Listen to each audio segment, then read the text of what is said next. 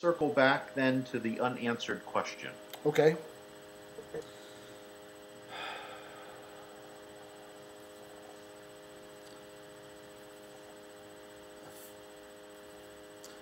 Be be a real pain in the butt. You know, you're not satisfied. All right. They really should have gone over this. They I wanted more about that. That session was only a half hour long. I wanted it three hours. Well, all right. You know, I what- mean, you know, Will. All right. So Will Wright could have spoken like all day. Honestly, I mean, Okay. it, it seemed to me. It seemed to me like. Didn't he do me like three hours or? He did an hour, but I mean, seriously, it seemed like Oh. he was like, like, oh, my time's up. You know, my hour's up, and I gotta go. I'm like, it, he every ten to fifteen seconds was something new. He kept hitting you so, with so many single rights of knowledge. You never felt the left coming at you on the next slide.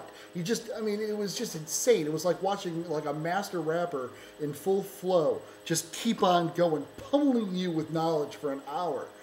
And I was loopy by the end of it, but God, I mean, he could have gone all day. He could have gone all day. I just hope to God that they recorded it and they're going to they're going to release the video because I, I mean, you you just got to see it to believe it. From a nerd standpoint, it doesn't get better than that. Um, uh, I would say that putting me to speak after Will Wright sucked. That sucked. you were tweeting about that. Yes. oh God! I mean, I mean, I was just, you, you know, I mean, the, the the the.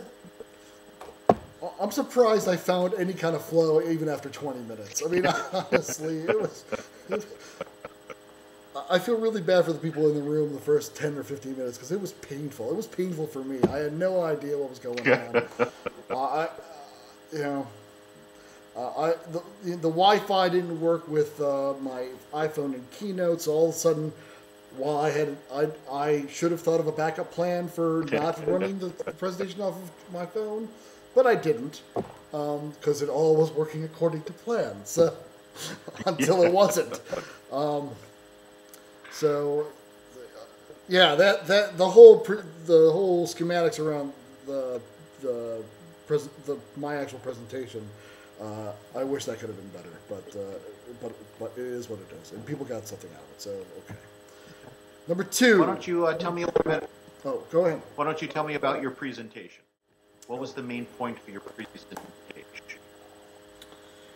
I have uh, I have a plan for cycling and cycling communication in the organization and channeling it uh, in specific ways, uh, so that we can draw direct we can draw connections uh, that cycle from social networking to knowledge management to formal learning uh, and you know conti- and continue the flow of information in that way. And so you have from social networking to knowledge management, you bridge that gap with communities of practice. Okay, so social networking is like the the cafeteria or the lobby in your organization. Okay, everybody talks, everybody hangs out. You can have a conversation with anybody, right? Um, if somebody's sitting at the next table from you that's talking about you know the Lakers game you know from the other night, you could jump in on that conversation. If somebody else is talking about supply chain you know practices, you know, and you're into supply chain, you could talk to those people and just jump in on that conversation. So it's a way for people to start to actually m- meet each other and talk to each other, and not in, versus always being, you know, presented with a new face only when a project demands it by your leader.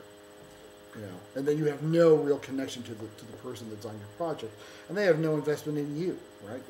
Mm-hmm. So social networking can take care of a lot of different communications, and it answers questions like what is good. This is what works for me. If you ask me a question, I can tell you this is what works for me, and you might get several answers like that.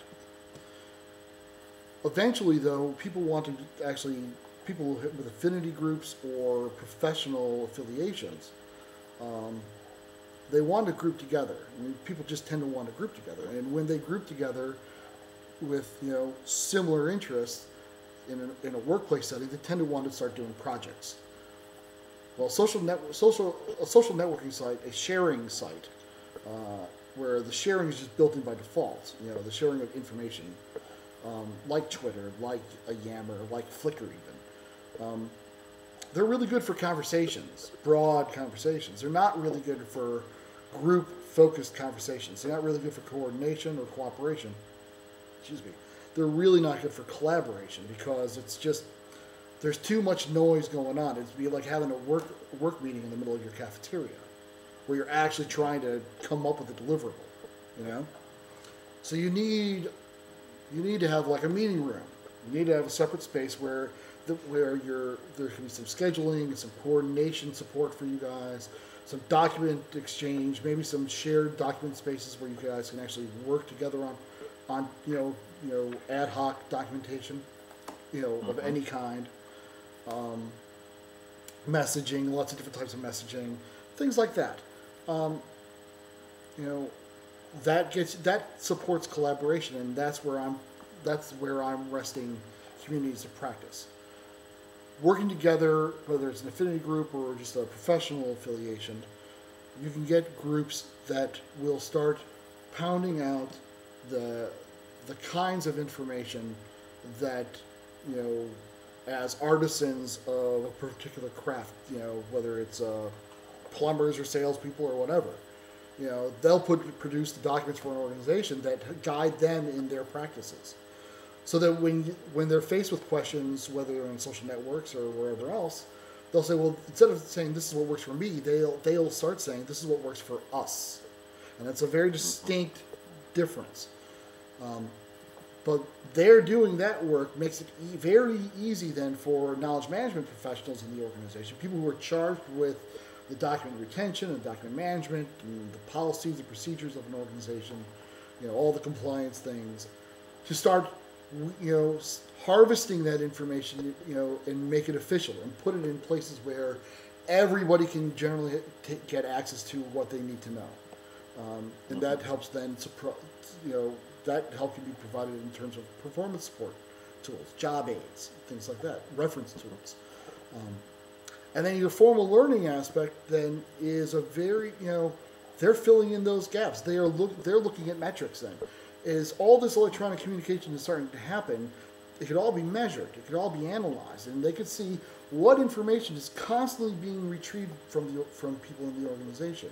Uh-huh. All right, and they could look to why, because if they're spend, if people continue to spend time accessing the same types of information, then that it, that that to me, I think to most people would identify itself as a gap that can be filled through you know prescriptive prescriptive training. Then you, you evaluate and just let the process kind of unveil something new to do. But so this this plan that I have is really more about continuous improvement. So it, it just as much as it is, uh, you know, actual you know communication exchange.